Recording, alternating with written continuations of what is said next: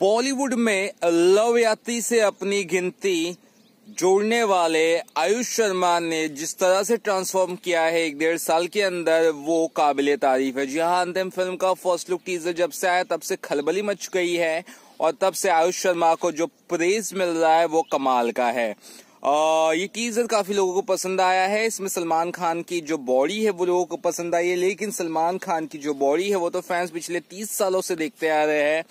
लेकिन यहाँ पर खास ये था कि आयुष शर्मा बिल्कुल, क्या बोलते, एक नॉर्मल बच्चे से हल्क बन चुके हैं इस तरह की बॉडी आयुष शर्मा ने बनवाई है और थैंक्स टू सलमान खान और इस टीजर फ़र्स्ट लुक टीजर को जिस तरह से लोगों ने सराहा है प्रेज दिया है, प्यार दिया है और आयुष शर्मा खुद को रोक नहीं पाया सोशल मीडिया पर साफ़ उन्होंने कह दिया कि मुझे बहुत खुशी है।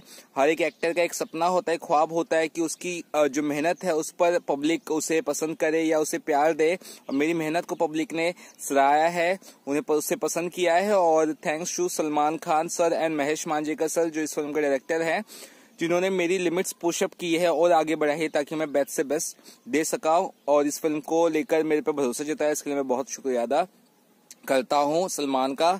और महेश मांजेकर सर का और पूरे फैंस का जो उन्होंने मुझ पर भरोसा और प्यार दिया है। तो कुल मिला के भावुक हो चुके आयुष शर्मा भाई। आप टेंशन मत लो आयुष शर्मा भाई। ये फ़िल्म धमाल करेगी माला माल करेगी 200 करोड़ के नीचे रुकेगी नहीं, ये उम्मीद करते हैं हम लोग। बस आप अपने करेक्टर में रहो, विलन वाले, और मुझे लगता है इस बार आप धमाका करने वाले हैं। चलिए फ़िलहाल कितना